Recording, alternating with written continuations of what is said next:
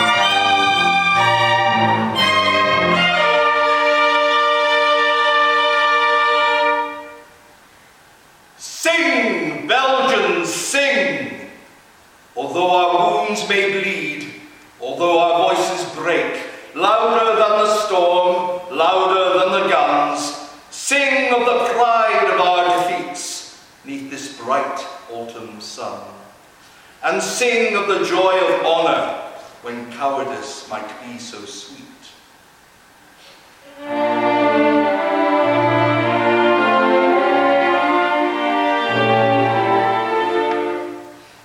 To the sound of the bugle, the sound of the drum, on the ruins of Aerschot, of Dinant and Termonde,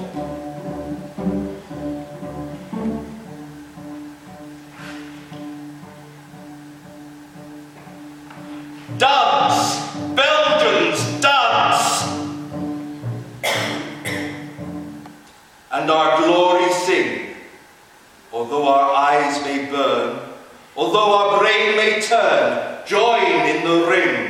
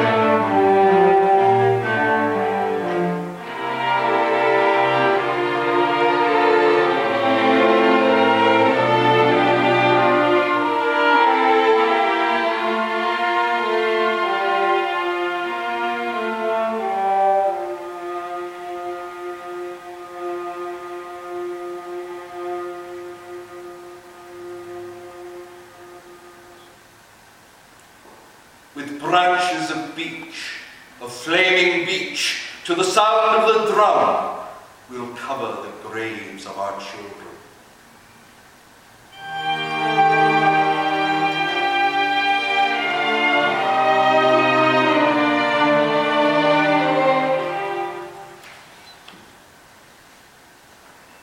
And all the woods are scented with the smell of dying leaves, that they may bear with them beyond the perfume of our land.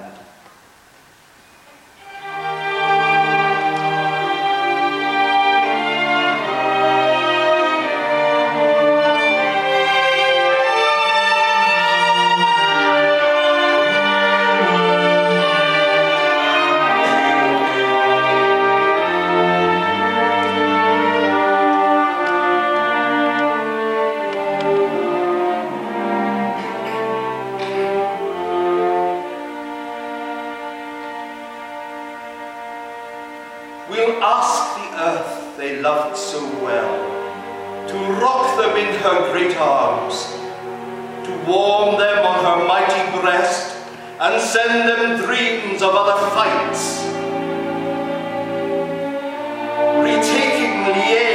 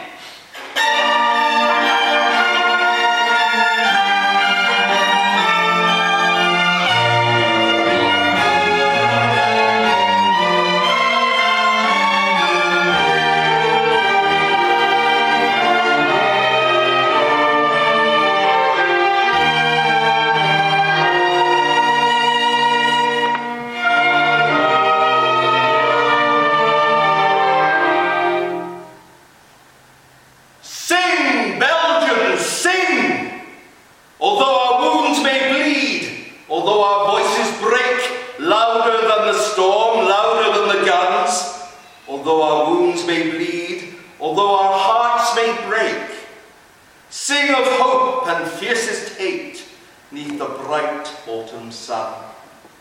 Sing of the pride of charity when vengeance would be so sweet.